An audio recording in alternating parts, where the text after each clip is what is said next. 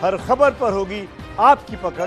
Download कीजिए ABP live app Ayodhya में राम मंदिर के पक्ष में सुप्रीम कोर्ट के फैसले के बाद आज केंद्र सरकार ने पहली पहल की है। प्रधानमंत्री नरेंद्र मोदी ने राम मंदिर के निर्माण के लिए ट्रस्ट का ऐलान कर दिया है। इस वक्त हमारी मौजूदगी दिल्ली के श्रीनिवासपुरी में है जहाँ हमारे साथ कुछ स्थानीय लोग हैं। हम लोगों से ही बात करते हैं। सर क्या नाम है आपका? उदय बुदलानी। उदय जी, आज पीएम मोदी ने ऐलान कर दिया है कि राम मंदिर निर्माण के लिए ट्रस्ट का, ट्रस्ट बनाया जाएगा। तीन महीने की डेडलाइन दी थी सुप्रीम कोर्ट ने। दो दिन बाद चुनाव है।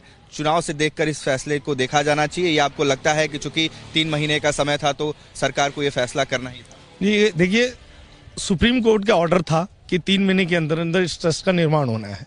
चुनाव को अलग रख के आप सिर्फ़ ये देखिए कि आदरणीय नरेंद्र मोदी जी ने सुप्रीम कोर्ट का मान रखा और आज ट्रस्ट का ऐलान कर दिया। और ये ट्रस्ट का जो ऐलान किया है, एक हिंदुओं के लिए बहुत ही गर्व की बात है।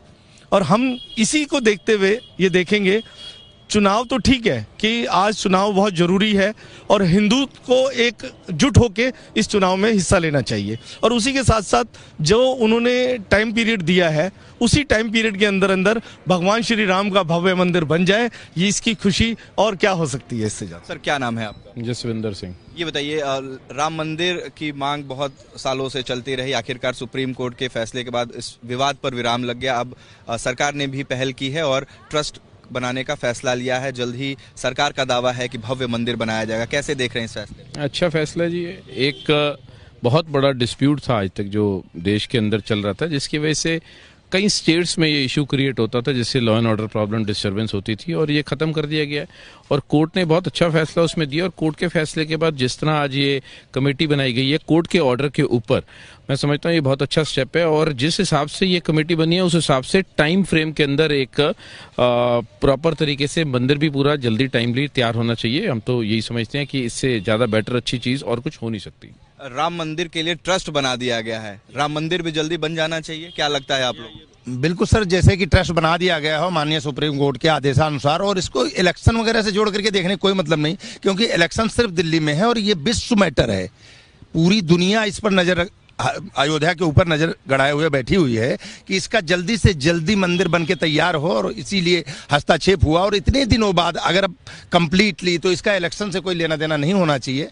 और जहाँ तक जनता जनता सब कुछ जानती है और देखती है इसमें आज की बात नहीं है। पीछे से धारा तीन सत्तर से लेकर के अब तक का जो भी फैसला आए और जितने भी कार्य किए गए अच्छे और सराहनीय कार्य हैं। आज ट्रस्ट का ऐलान किया गया है राम मंदिर बनाने के लिए अयोध्या में। कैसे देख रहे हैं इस ये बहुत अच्छा फैसला है। भारत सरकार का नरेंद्र मोदी जी का।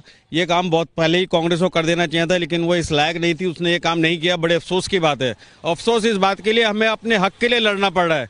जो मंदिर हमारा है, जो जगह हमारी है, जो जगह हमारी है, और जिस जो मंदिर अब से कई सौ साल पहले बन जाना चाहिए था, उस मंदिर के लिए हम अभी भी लड़ाई कर रहे हैं, और इसके बाद हमें मोदी जी से उम्मीद है कि ट्रस्ट बनने के बाद ये मंदिर जो है बहुत जल्दी बनना चाहिए। ये 200-300 साल पहले इस युद्ध शुरू हुआ था इस अयोध्या मंदिर के लिए, जो कि अब जाकर के हम एक निष्कर्ष पे पहुँचे हैं। इसके अंदर जितनी पिछली सरकारें नहीं है, चाहे कांग्रेस हो, आप सरकार का तो इससे कोई मतलब नहीं है ज़्यादा।